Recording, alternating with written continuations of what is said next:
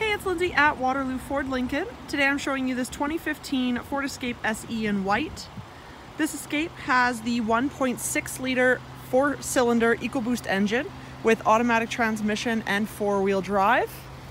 On this vehicle we have halogen headlights, you also have fog lamps. We have the alloy wheels on here, has keyless entry. You also are able to seat five passengers in here with the rear privacy tint on the back windows.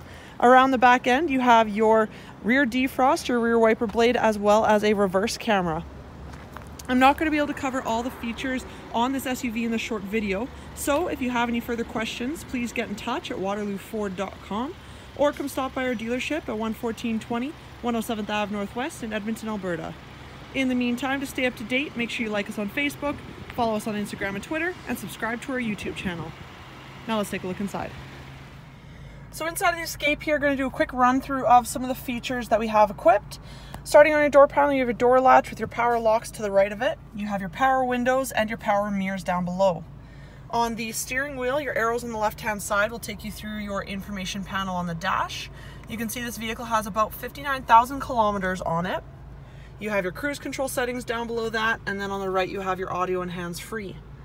Moving into the middle, uh, you have your display screen located up top, and that's where your reverse camera shows up as well. Uh, you have your entertainment system here with AM, FM radio, as well as Sirius satellite radio. Also have USB and Bluetooth connectivity in here. You have your hazard lights located right square in the middle. You have your climate controls down below, rear defrost. Uh, you have your gear shifter here.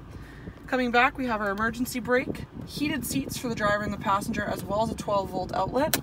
Then we have two cup holders here and inside of your console you have your auxiliary input, a USB plug-in, as well as another 12 volt outlet.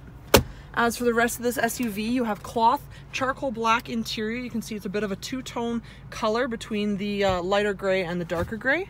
In the back, you have that 60-40 split in the seat, so you can pop your seats down. You also have that armrest that will come down for your rear passengers. Once again, if you have any further questions about this SUV, please get in touch at waterlooford.com. My name is Lindsay, and thanks for watching.